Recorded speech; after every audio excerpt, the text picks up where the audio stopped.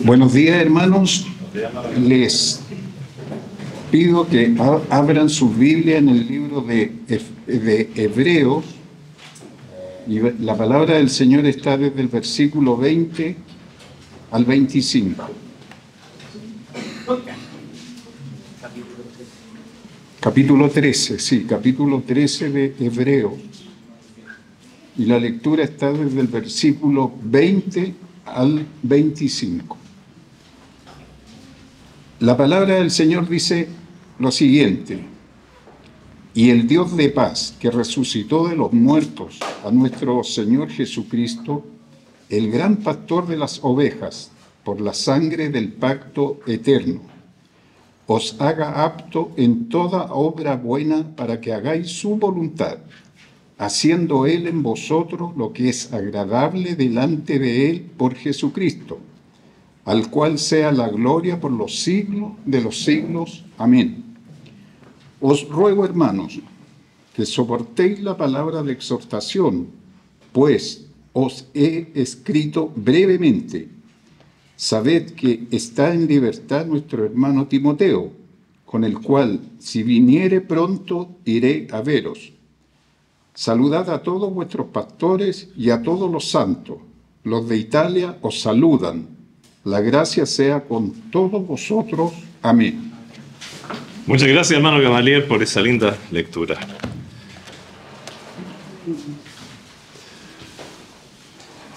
Libro de Hebreos, qué maravillosa, qué maravillosa lectura. Es una despedida ya al final de la carta, todo lo que está aquí.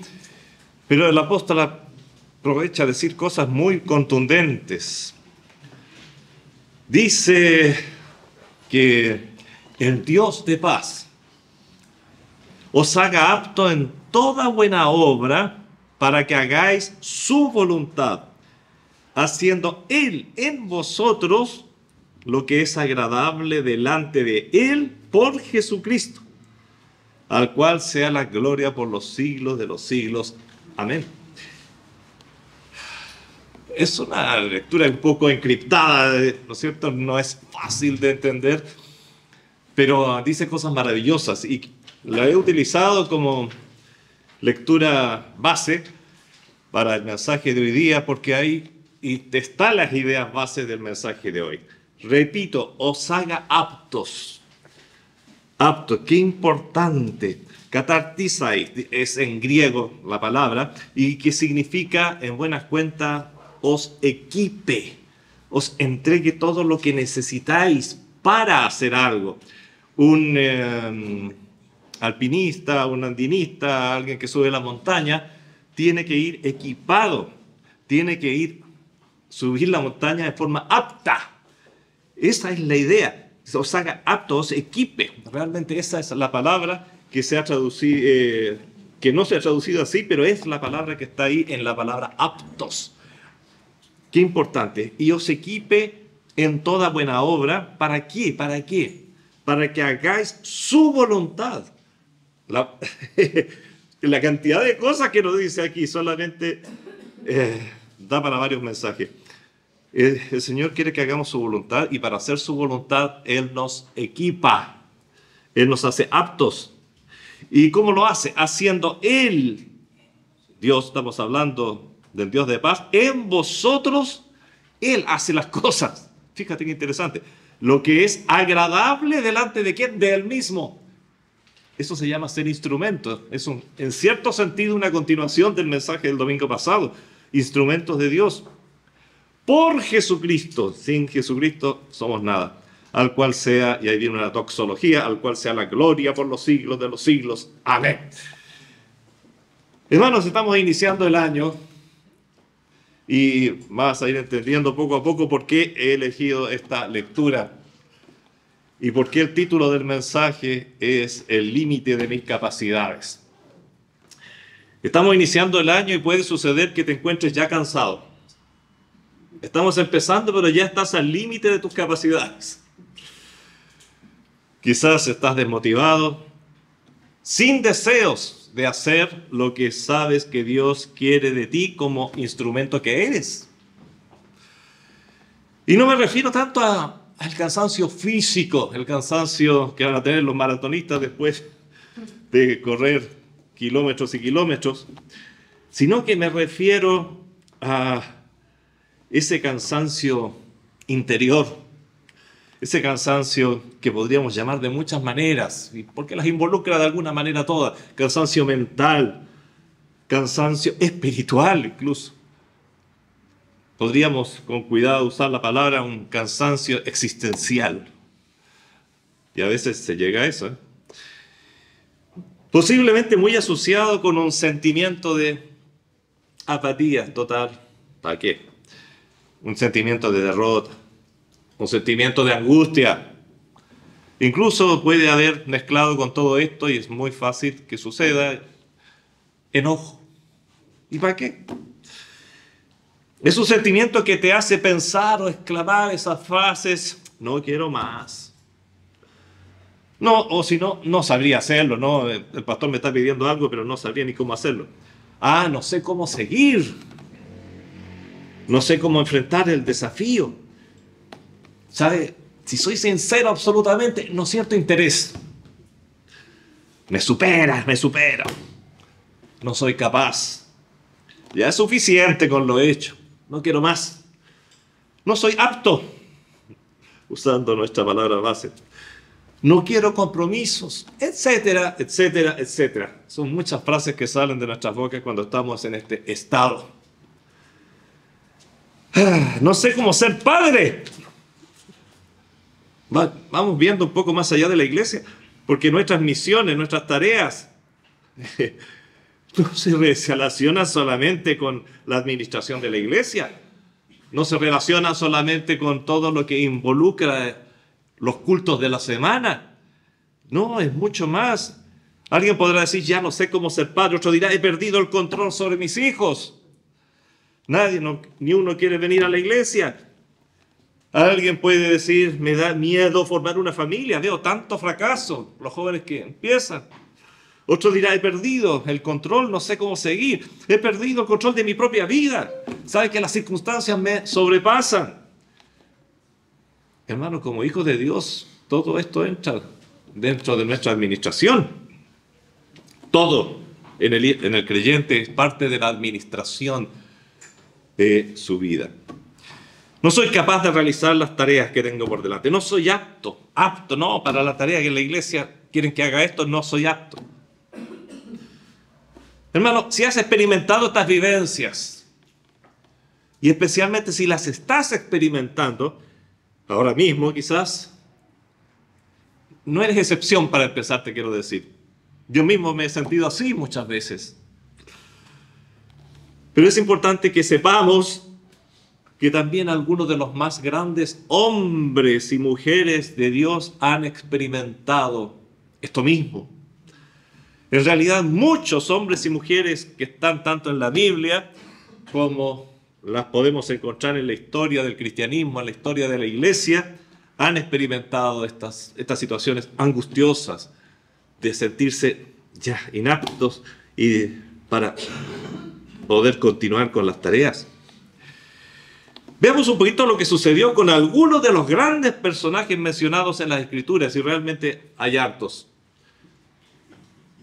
¿Qué hicieron cada uno de ellos cuando estuvieron en esta situación? ¿Qué pasó con ellos? ¿Qué hizo Dios con ellos? Mira, una de las primeras cosas, y te lo voy a adelantar, que cada uno de ellos hizo, o Dios les llevó a que lo hiciera, es admitir la situación. Se debe admitir la propia incapacidad si eso no está mal.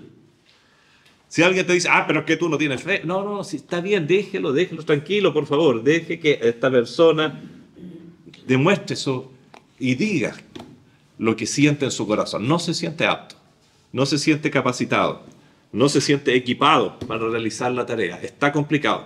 Lo primero es ser sincero, o sea, a Dios no se le puede mentir. Y no por darle el gusto al otro hermano, vamos a decir, no, si yo todo lo puedo en Cristo que me fortalece. Qué versículo más hermoso que vimos el día jueves. Sí, pero no lo digas solamente de memoria. Admitamos que muchas veces Ese versículo es solo una linda frase, un lindo versículo que debiera ser una realidad en nuestra vida, pero realmente no lo es.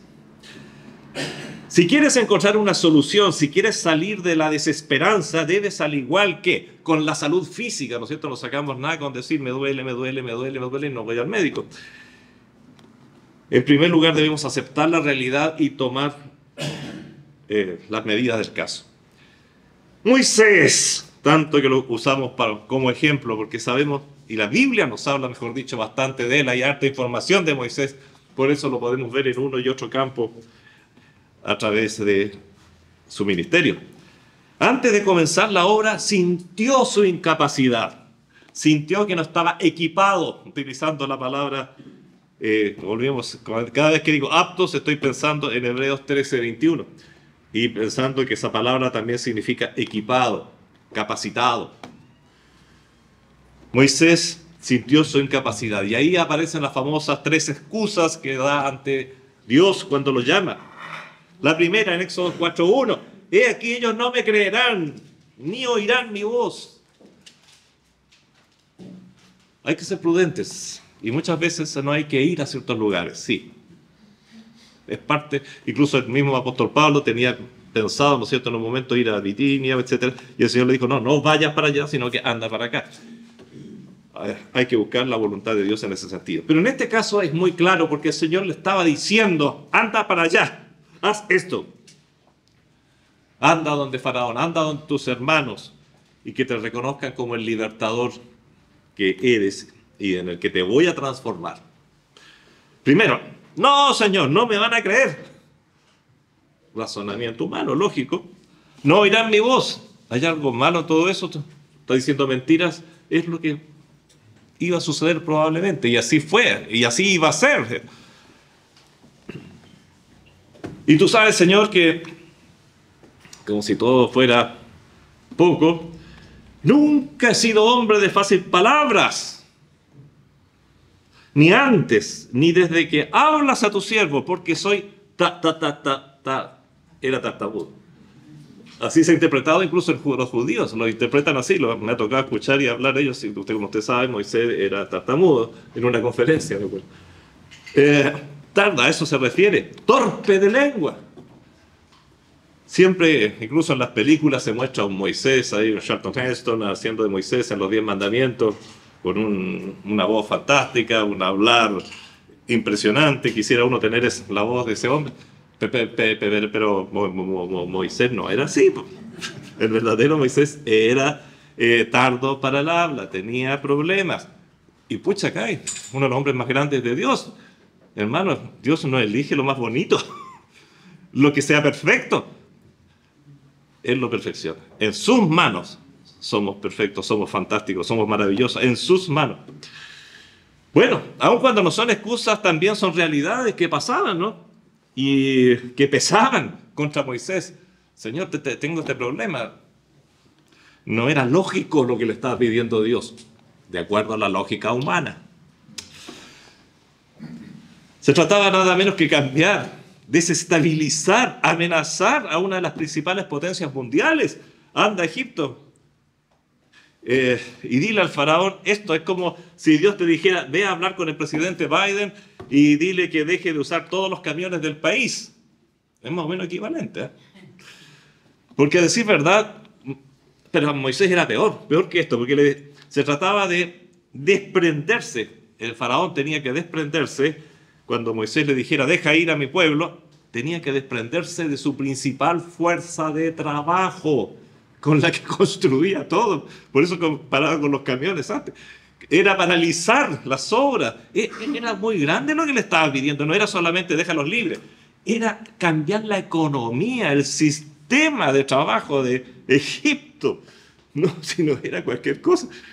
A ver si tú no hubieras dicho la misma excusa. Porque siempre tenemos la tendencia a criticar a Moisés por las excusas. No.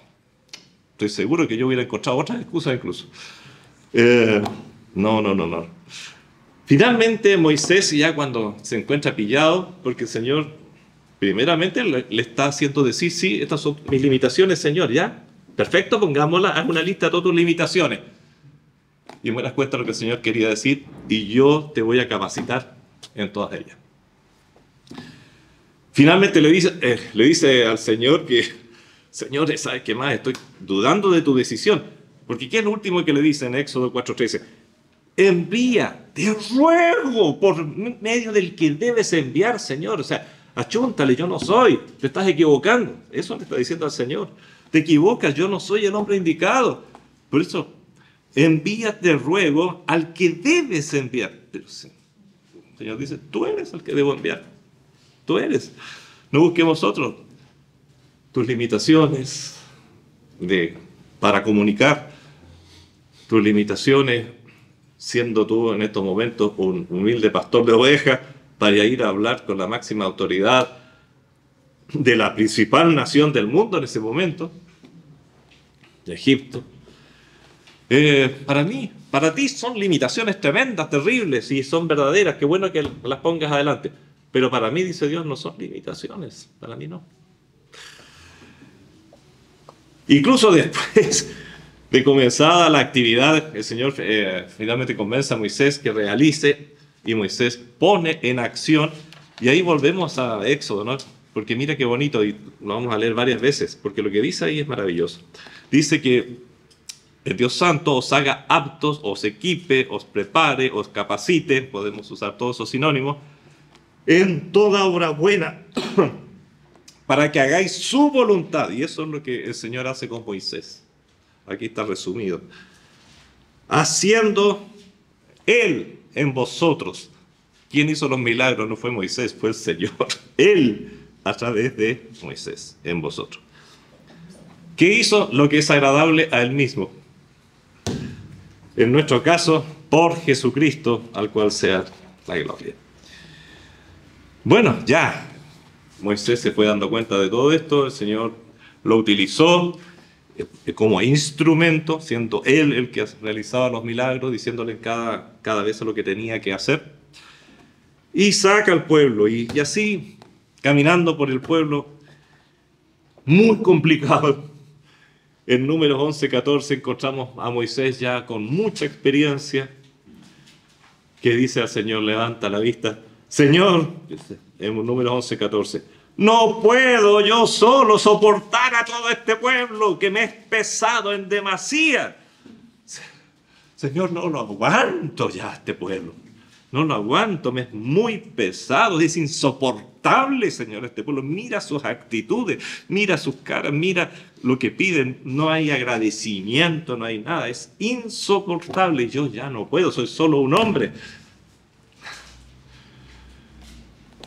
Pobre Moisés. Y el Señor sabía todo esto. Pero el Señor dice, no, no te voy a retar por quejarte. Quéjate, si que te escucho yo. Te entiendo. Y es verdad lo que dice, si el pueblo es insoportable. Todo lo que ha hecho. Pero le dice en otra oportunidad, pero a mí es el que me están provocando.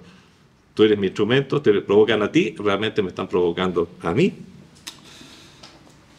Así que después de haber vencido el primer obstáculo, Moisés vuelve a sentir un tremendo peso. Esta vez no se trataba de empezar algo, sino de continuarlo. Porque a veces es relativamente fácil o puede llegar a ser fácil. Siempre que se empieza algo hay mucho entusiasmo para empezarlo, pero lo difícil siempre ha sido continuarlo. ¿Cuántos hermanos? Y ahí es cuando se dice, este hermano se nos quedó atrás. ¿Cuántos hermanos se nos quedan atrás en el camino? ¿Cuántos cristianos se quedan atrás? Y uno, mientras más vive, más lo ve.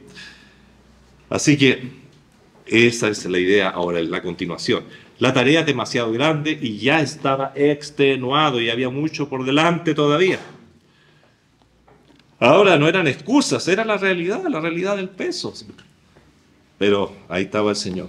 Y sabemos que Moisés llegó a buen término y pudo traspasar, digamos, su cargo en el momento que Dios lo quiso y porque finalmente Dios estuvo con él e hizo a través de Moisés las obras que él tenía preparadas para que él hiciera para el agrado de él, de Dios.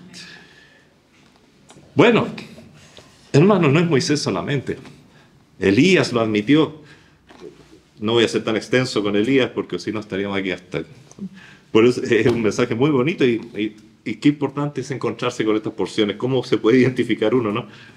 En 1 Reyes 19:4 dice, y deseando morirse, dijo, aquí tenemos otro gigante de Dios, y miren cómo está el pobrecito, deseando morirse, y le dice al Señor, basta ya, oh Jehová, quítame la vida, pues no soy yo mejor que mis padres, no merezco siquiera vivir, quítame la vida y sácame de estas misiones difíciles, complicadas, tenía que tratar con un pueblo, ahora el rey de la nación lo venía persiguiendo, lo querían matar, etcétera, etcétera. No, no, no, no, Señor, por favor.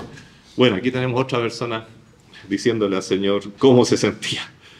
Elías había tenido grandes triunfos de sus enemigos, había saboreado la victoria en Dios, sabía que Dios estaba con él y sabía del poder de ese Dios. Sabía que ese Dios era su escudo, sí. Sin embargo, Dios permite que Elías sea perseguido y que sienta en un momento su propia impotencia al punto de desear morir. Esto se, sí, se llama depresión aguda. ¿eh? Estar en un estado de depresión aguda. Lo único que quiere es morir, morir. No quiero más, no quiero saber nada, no quiero de futuro, no quiero mi presente horrible, mi pasado, lo que va a ocurrir ya no tiene sentido. Señor, por favor, terminemos ya, termíname ya. Tenía la famosa triada depresiva de cualquier depresivo con depresión mayor. Pero la pregunta que uno se hace, bueno, y no, no voy a entrar porque este ya es otro tema, ¿qué hubiera pasado si el Señor le hubiera dado larga, larga, larga y después de la tremenda victoria, acuérdense que había matado a 400 profetas de Baal eh, hace poquitos días o el día anterior, eh, Dios había manifestado su poder, entonces Elías estaba hinchado de, de gloria. Posiblemente no era bueno para Elías seguir así, tenía que sentir ahora otra vez el peso para que clamara al Señor y se sintiera realmente que todo, todo, todo lo que él hacía, lo que había hecho, provenía de Dios. Bueno, ese, pero ahí va un tema para otro mensaje y otro momento. Estamos hablando de estos momentos difíciles para el cristiano, cuando ya no tenemos ganas de seguir. Salomón lo admitió cuando recibió el reinado de manos de su padre. Recibió un bastante mal estado el reino y debía continuar con un reino que quedó muy adolorido, con muchos quiebres después de la muerte de David. Salomón sabía lo que significaba gobernar una nación, con lo que y todavía una nación de Dios y para Dios, una nación para, con la cual Dios tenía planes muy especiales. Y esto fue agobiante para Salomón, el joven, muy joven Salomón aquí. Por ello exclama a Dios en Primera Reyes 3, 7 y 8. Y yo soy joven y no sé cómo entrar ni salir. Qué lindo admitir esto, ¿no? Y tu siervo está en medio de tu pueblo, al cual tú escogiste. Un pueblo grande que no se puede contar ni numerar por su multitud. Señor, ¿cómo voy a dirigir yo a este pueblo? Qué linda actitud de un dirigente. Ojalá nuestros presidentes fueran igual. Pero hay harta diferencia. Aquí hay alguien diciendo, Señor, no, no, no, no sé, no sé, yo no, yo no puedo, no sé cómo hacerlo. Eh, bueno, notemos que todos estos grandes personajes no solo reconocieron sus incapacidades, que es nuestro punto, ¿no es cierto? Reconocer primeramente nuestras incapacidades, sino que se las declararon a Dios. Ellos le dijeron, Señor, no puedo hacerlo porque soy incapaz. Señor, mejor llévame, no puedo seguir luchando en mis fuerzas, no soy capaz. Y aquí viene la respuesta del Señor. El Señor les lleva a reconocer que siempre hay recursos en Él y que si el Señor te llama es porque Él te va a capacitar, te va a equipar, usando la palabra, la traducción directa del griego, de Hebreos. Para el Señor no escapaba el tremendo esfuerzo de sus queridos hijos, porque parece que el Señor se olvidó de nosotros. Muchas veces se llegaron a sentir, y lo vemos así, las expresiones en los salmos, especialmente que, quizás desamparados, pero colocándolo a nuestra era, era cristiana, ¿puede un cristiano sentirse solo? Sí puede sentirse, no digo. Pero una cosa es sentirse y otra es estarlo. ¿Está un cristiano realmente solo? Nunca. Nunca. Empezando tenemos el sello del Espíritu Santo, que es el Espíritu Santo mismo, es un sello vivo, es la misma persona del Espíritu Santo morando en nuestros corazones. Está Cristo, por algo lo dijo, yo aquí, yo estoy con vosotros todos los días hasta el fin del mundo. Hay muchas, muchas promesas, nunca vas a estar solo.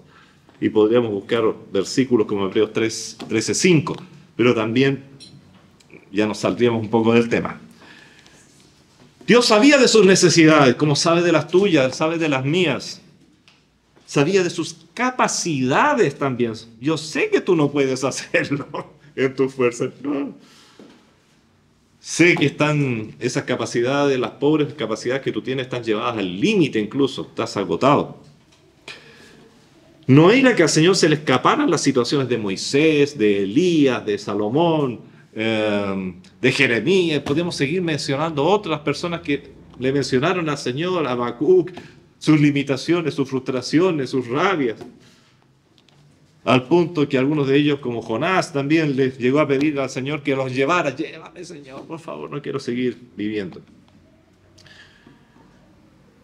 Sin que Moisés mismo lo sintiera, sin que Salomón mismo lo sintiera, sin que Elías lo sintiera en ese momento, estaba siendo sostenido, enriquecido y capacitado. Esa misma experiencia que estaba viviendo le estaba capacitando porque le ayudaba a comprender algo que es fundamental en la vida cristiana, la dependencia de Dios.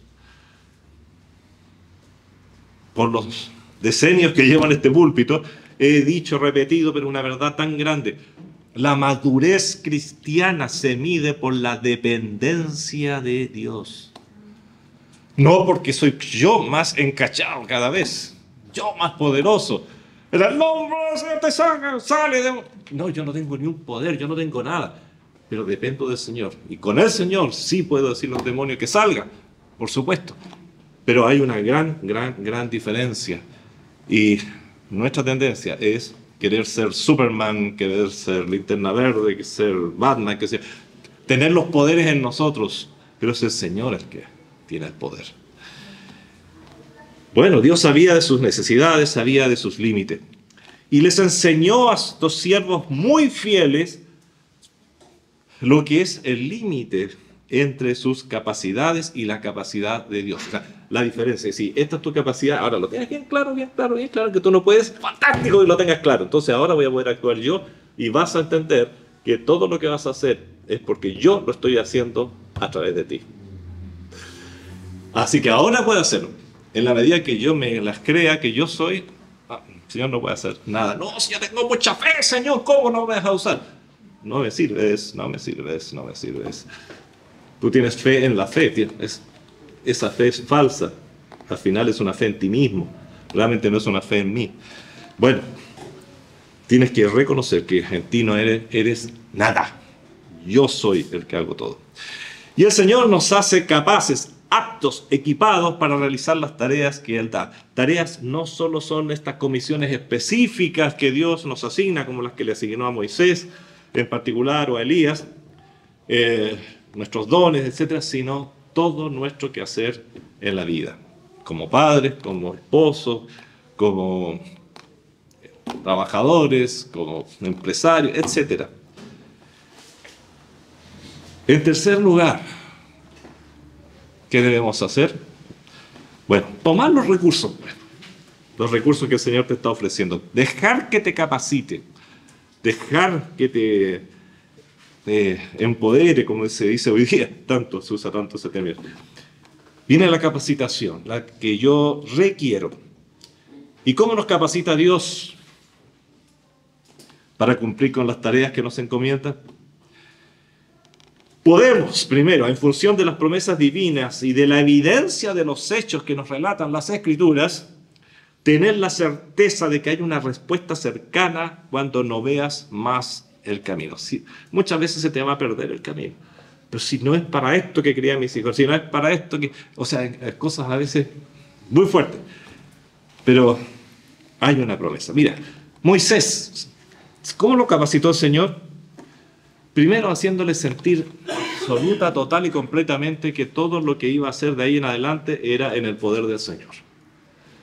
Era la lección que tuvo que aprender Moisés. Recuerden que Moisés primero, y como lo describe y nos da la clave para entenderlo, el capítulo 7 de los Hechos, aunque está en el Nuevo Testamento, nos habla de Moisés y dice que Moisés, cuando mató al egipcio o mató al, eh, a ese capataz, ¿qué pasó? Eh, él pensaba que el Señor ya lo estaba empezando a usar como líder, él sabía de alguna manera, que no nos deja clara la Biblia, pero lo, dice, que él sabía que era el libertador de ese pueblo ya desde antes de esto y que iba a empezar. ¿Y que cómo empezó? Bueno, haciendo una pequeña revolución. Y le fue tan mal. Tuvo que arrancar al desierto. Estuvo 40 años en el desierto hasta que aprendiera que no eran sus fuerzas. Tenía que esperar el llamado del Señor. Esa es otra cosa que nos cuesta mucho, la paciencia para esperar el llamado del Señor. Bueno, Moisés tuvo que aprender esto. Y justamente por eso que empieza así, es interesante su, llamado. Objeción, objeción, objeción. Ah, ya. Ahora ya no te sientes bueno para nada. Ahora me sirves. Fantástico. Porque te vas a dar cuenta que todo, todo, todo lo que vas a hacer viene de mí y ya no es tu fuerza. Y se le da una meta alta, una meta sublime. Es importante tener metas en la vida. Y el Señor da las mejores. Moisés, vas a sacar a los hijos de Jacob, lo que después iba a ser Israel, de la esclavitud. Vas a transformarlos en una nación santa a través de ti. Van a ser transformados en una nación y los llevarás a una tierra que fluye leche y miel, la tierra prometida. Tremenda visión. Esto es, será lo que viene por delante. A veces tenemos una visión tan corta. ¿Por qué tenemos la visión corta? Bueno, hermano querido, si normalmente es por falta de contacto con la palabra, porque la palabra te abre los ojos, te da visión y con ella la oración. La oración. Bueno, Moisés fue capacitado por una maravillosa visión. Se le dio poder no, es, no es tuyo el poder, es mío el poder, eh, va a ser ejercido a través de ti, pero es mío. Se le da un mensaje, se le dan señales. Bueno, hay muchos, muchas formas en que Moisés es equipado. Se le dan talentos, es formado por el Señor. ¿Qué pasó con Elías? También Elías, cuando llegó el momento en que ya tocaba fondo, entonces fue capacitado fue sustentado, dice, por medio de un ángel para empezar. Se fue llevado a un lugar separado para que se recuperara de su pobre estado de ánimo y de su estado físico también, que debe haber sido muy calamitoso a esas alturas. Se le dan revelaciones aún mayores, se le da un estímulo tremendo. No, Elías, no estás solo, hay todavía siete mil otras eh, personas aquí que no han doblado sus rodillas a Baal. Es decir, que no han recapitulado, no han ido, no han apostatado. Y se le dan nuevas misiones específicas. Salomón, qué maravilloso, fue capacitado recibiendo una porción especial de sabiduría. Estamos muy acostumbrados nosotros, ¿no es cierto?, a ver los dones desde la perspectiva del Nuevo Testamento. Los dones son capacidades, herramientas que da el Espíritu Santo para el servicio de la obra. Bueno, a Salomón se le dio un don que no vuelve a ser repetido en el Nuevo Testamento, se ofrece lo que se le ofreció a Salomón, pero como don solamente se le ha dado a Salomón, que fue la sabiduría. El Señor dice, si tienes falta de sabiduría, Santiago lo dice, pide y te será dada abundantemente, pero obviamente nunca como a Salomón, porque él se le dio como un don. El Espíritu Santo una sola vez sabemos a través de la Biblia que dio la sabiduría como don y ese fue a Salomón. Y con ese don pudo gobernar perfecto gobernó perfecto, más o menos. Pero ese ya no es problema de falta de sabiduría, porque el Señor lo capacitó con todo lo que necesitaba. Sí, el problema es, que seguimos siendo siempre nosotros. Ahora, Dios actúa hoy día diferente. ¿Acaso Dios no nos sigue poniendo delante metas maravillosas como se las puso a Moisés, hermanos queridos? Tenemos metas maravillosas. Hoy día se habla tanto de los libros de autoayuda, de autoconstrucción. Eh, hay tantas imágenes y son sectores completos de las librerías que te hablan de la autoayuda y la autoingeniería, en buena cuenta, y la reingeniería de uno mismo, el hacerte. Oye, no necesitamos esa basura, por favor. Si leemos nuestra Biblia, este es el mejor libro de ayuda, más que de autoayuda, porque te ofrece la ayuda de Dios para realizarte, para tener una visión, para tener objetivos en la vida. Hermanos, una tierra prometida se le prometió a... ¿Acaso nosotros no tenemos una tierra prometida, maravillosa? Poner la mira en las cosas de arriba, donde está Cristo, donde está nuestra ciudad celestial, nuestra ciudad eterna. No se turbe vuestro corazón, creéis en Dios, creed también en mí. En la casa de mi Padre muchas moradas hay, si no fuera así os lo hubiera dicho. Voy pues a preparar lugar para vosotros. Tenemos una tierra prometida maravillosa por delante. Maravillosa, sublime. Pero no nos importa. Perdón que sea tan bruto, tan bruto, pero me doy cuenta, hablando con muchos cristianos, que realmente no les importa. Ah, sí, sí, o como diciendo, sí, está en la Biblia. Como diciendo teórico, yo quiero ahora, ahora, ahora. Y el Señor dice, lo tuyo va a ser después, después, después. Pero no, Señor, insisto, yo quiero ahora. Si no me lo das ahora, ya no me interesa después. Como diciendo, hay una sola vida, términos que son de los paganos, no de un cristiano. Pero los seguimos usando y seguimos pensando como paganos.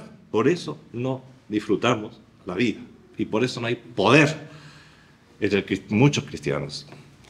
Sin metas llegarás a sentir un vacío que podrá transformarse incluso en una depresión clínica. Pero deben ser reales, no autoimpuestas o puestas por malos consejeros. Visiones. Qué maravilla es el cielo, hermano lo que vio Juan en Apocalipsis. Yo creo que Juan nunca quiso volver a la tierra después de haber visto eso. Lo que cuenta Pablo cuando fue llevado al tercer cielo. Mm, mm, no tengo palabras, dice. No tengo palabras, era tan maravilloso, es inefable, sin palabras. No puedo describirlo, es demasiado maravilloso. Hermanos, ¿cómo se obtiene esa visión? Aquí la tenemos. Y leyéndola con nuestro con el escritor de ella. Lo hemos dicho millones de veces, ¿no? Eh, este es el único libro que se puede leer con el auxiliar de el auxilio de su escritor, el Espíritu Santo. Hermanos queridos, poder. El Señor nos da poder. No al estilo de los superhéroes de historieta, que es con lo que asociamos generalmente, y hay muchos pastores, incluso hay muchos líderes no les voy a llamar siquiera pastores, líderes nomás, porque líder es un término que se puede usar incluso mundanamente. Eh, hay muchos líderes que utilizan o pretenden tener poderes o ofrecen poderes como los superhéroes de las historietas de Marvel, de CD, etc. Hermanos, el Señor además nos enriquece diariamente con mensajes nacidos de su palabra. ¿Tienes una Biblia con los mensajes más sublimes de la historia? Por supuesto que sí. El problema es qué hacemos con ella. Cuando empezamos a leer y hacer nuestro devocional, y lo he escuchado de labios de hermanos, cómo cambia, qué maravilloso, ¿sabes? Empecé a leer este libro y estoy fascinado. Claro, es lo que te vengo diciendo hace mucho tiempo. Lee tu Biblia, búscala y léela en oración cómo cambia todo, cambia la visión, cambia la motivación y el Señor nos va a capacitar. Bien, las obras no las buscamos nosotros, es el mismo Señor el que nos asigna las obras que desea que hagamos. Por eso vuelvo a leer como por quinta vez en Hebreos 3:21, ¿no? Eh, haga, que os haga apto en toda buena obra para que hagáis su, su voluntad, no mi voluntad. Yo quiero eso, no, yo tengo tanta fe, no, esa casa tiene que ser nuestra y para ampliar la iglesia y, y voy a orar y desde ya la demando, Señor. ¿Quién me venía a demandar tú? tiene que ser lo que yo hago. Mi voluntad, dice claramente, para que hagáis su voluntad haciendo Él en vosotros lo que es agradable delante de quien del mismo, de Él por Jesucristo, al cual sea la gloria, no mi gloria. Las obras no las buscamos nosotros, es el mismo Señor el que nos asigna las obras que desea que hagamos, como se las asignó a Noé, construyendo su acto, como se las asignó a Moisés, como se las asignó a Elías, como se las asignó a Salomón, como se las asignó a Jeremías, como se las asignó a Jonás. Si tú buscas en la Biblia vas a ver que siempre no son ellos que dijeron, a ver, sal, voy a construirme un arca, porque tengo la tinca que va a venir un diluvio. Y yo tengo tanta fe que no voy a hacer. No, siguieron las obras que el Señor le dijo. Esa es la idea. Por eso hay tanto fracaso. Decían, pero ¿por qué, Señor? ¿Por qué estás haciendo tus propias obras, hombre? Dios nunca te ha pedido que hagas eso. Pero interpretan algunos versículos tomando a ese versiculito, pero sin ver el, contexto. Y ahí estamos sonando. Y no pensemos solo en las obras misioneras o de tipo profético, se trata de toda obra. Si el Señor te ha hecho padre o madre, tienes por delante que realizar la obra de criar en disciplina del Señor a tus hijos. Y eso es algo mucho más difícil que preparar un mensaje. Es mucho más difícil que abrir el mar rojo, hermano. Los padres lo saben, lo saben. Son obras complicadísimas. Doy gracias porque yo tengo dos preciosas niñas que nunca me han hecho problema. Si el Señor te ha puesto en un lugar de trabajo, tienes por delante la hora de cumplir bien con tu trabajo. Ah, qué fome, pastor, pero eso ya no estamos saliendo del mensaje, no estamos saliendo de la Biblia. Hermanos, todo lo que tú haces, aun lo que comes, dice la Escritura, es para la gloria de Dios. Y si trabajas, trabaja como para el Señor, también te lo dice. Así que por una y otro lado descubrimos que ahí hay obras importantes.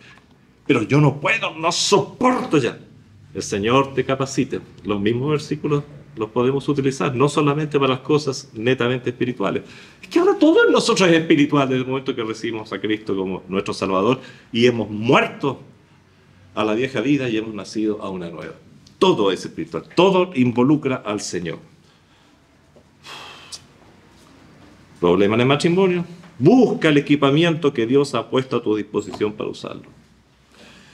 Hay un equipo maravilloso en la Biblia que habla de roles. Sí, pero ya me volviste con la Biblia otra vez. No, yo necesito un consejero, yo necesito un... qué sé yo. No, la Biblia tiene todo lo que necesites.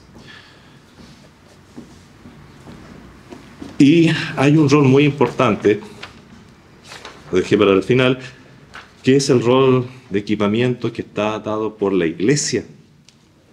En Efesios 4:12 nos habla del rol de la iglesia en el equipamiento de todo creyente. ¿Qué dice ahí?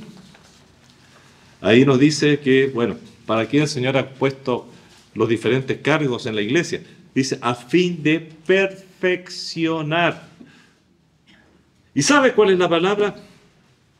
Catartis, catartismón, que viene de la misma palabra equipar en otras palabras, si tradujéramos literalmente el, término que está en Efesios, dice equipamiento. Volvemos a encontrarnos con la misma idea y la misma palabra, a fin de que el Señor les equipe, equipe a los santos, es decir, para eso el Señor ha puesto en la iglesia ancianos y profesores en la escuela dominical, eh, bueno, alguien yo no fui, yo solo tuve, vamos a tener que ver ese, ese tema del ruido.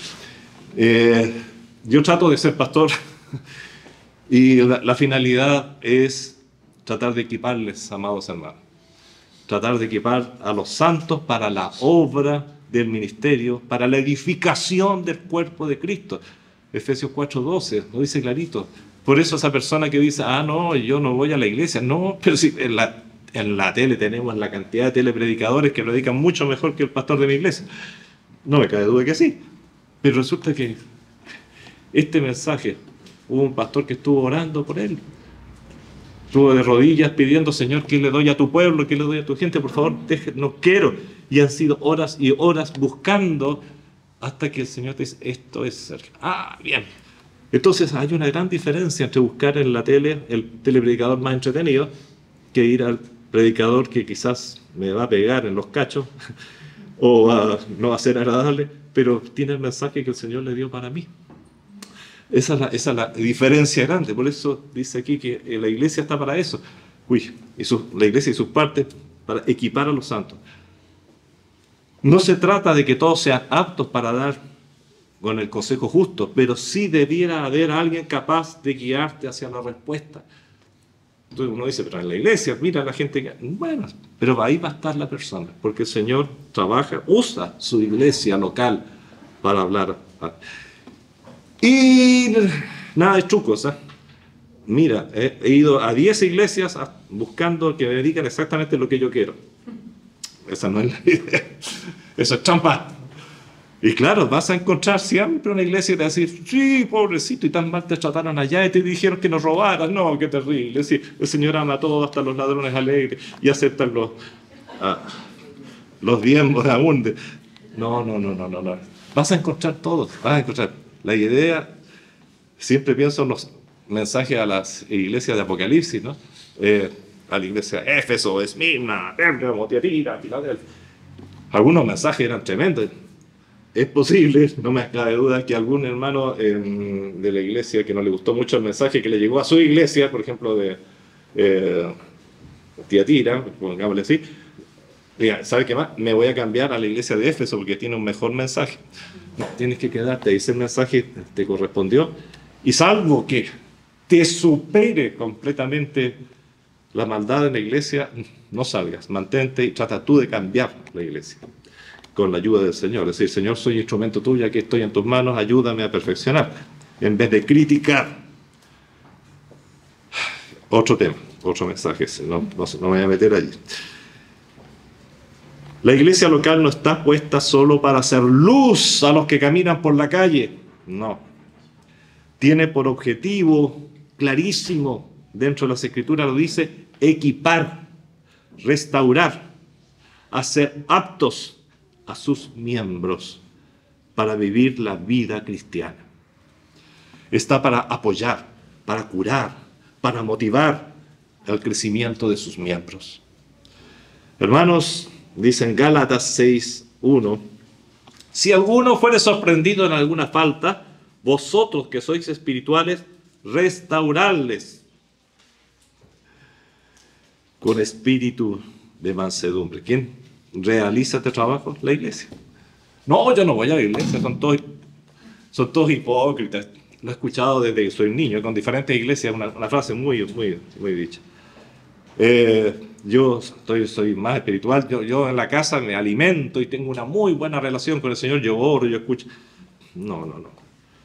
No os dejéis de congregaros, dice en el mismo libro de Hebreos, como algunos tienen por costumbre. Cuidado.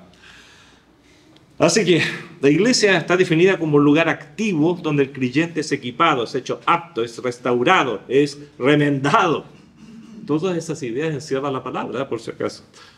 Cuando dice en el Evangelio que remendaban sus eh, redes, es la misma palabra para equipar. Equipaban sus redes, las preparaban. Así que todo está dentro de esta idea. No es un lugar pasivo para venir a relajarse, sino uno donde viene uno a recibir lo que llamamos hoy día un service. Necesito, tengo dudas, tengo esto, el Señor va a usar mi iglesia local. Una cosa no quita la otra. Hermanos queridos, vamos a tener que ver este tema del audio. Vas a comenzar una tarea, un buen comienzo es buscar perfeccionamiento. Búscalo primero en tu iglesia. ¿No sabes cómo seguir con tu tarea? Un buen comienzo es buscar perfeccionamiento en la iglesia. Ahí va a haber alguien que te va a ayudar, que te va a decir, quizás te va a ayudar a decir, mira, ¿por qué no lees tal libro?